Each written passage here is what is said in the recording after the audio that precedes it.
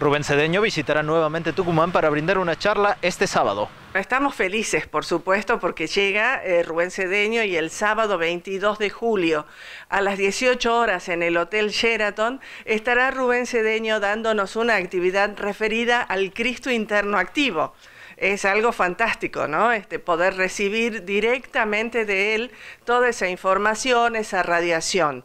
Este, bueno, es es una entrada libre, no hay necesidad de inscribirse, es necesario sí asistir temprano porque se llena. Eh, somos absolutamente puntuales porque también se transmite al exterior en directo y en vivo, eh, dice el Cristo interno activo. Ese es el Cristo interno, es lo que realmente somos nosotros esa conciencia de ser y lo que te lleva a hacer las cosas que debes hacer y no lo que por ahí la personalidad se le ocurre por antojos, por caprichos, por enojos, por rechazos, etc. Entonces, eh, va a ser muy importante para todas las personas que asistan poder tomar conciencia y contacto con su propio ser, su verdadero ser, que es ese Cristo interno activo o ser interno activo. Ir temprano, sin niños y dispuestos a eh, recibir una actividad, una información que te puede cambiar la vida.